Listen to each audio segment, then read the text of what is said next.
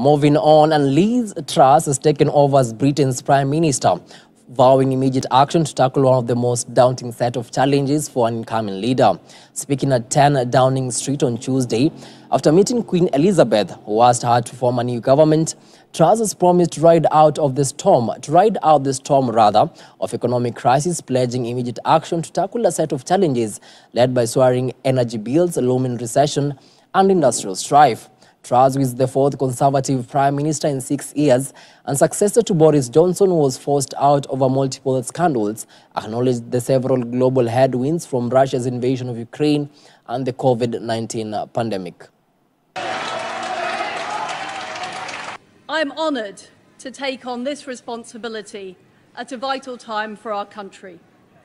What makes the United Kingdom great is our fundamental belief in freedom, in enterprise, and in fair play. Our people have shown grit, courage, and determination time and time again. We now face severe global headwinds caused by Russia's appalling war in Ukraine and the aftermath of COVID. Now is the time to tackle the issues that are holding Britain back. We need to build roads, homes, and broadband faster. We need more investment and great jobs in every town and city across our country.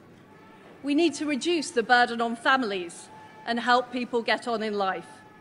I know that we have what it takes to tackle those challenges. Of course, it won't be easy, but we can do it.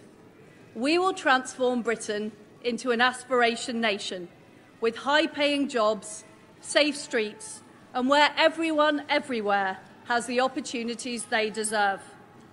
I will take action this day and action every day to make it happen.